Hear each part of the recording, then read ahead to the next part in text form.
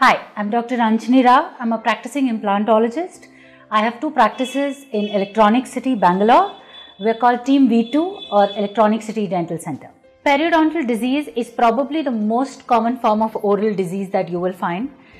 Almost 70% of it is completely reversible. In fact, the first stage or the stage 1 of periodontal disease is 100% reversible. Provided we catch it early, a thorough cleaning, a professional cleaning is done. Further assessment is done to see what exactly caused the periodontal disease.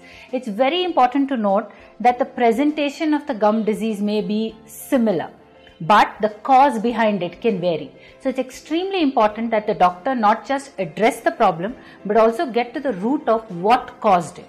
It could be drug allergy, it could be a hormonal imbalance, it could be caused by some kind of autoimmune disorder in the patient, it could be the early onset of diabetes in a patient, it could also be because of some medication that the person has been taking since their childhood.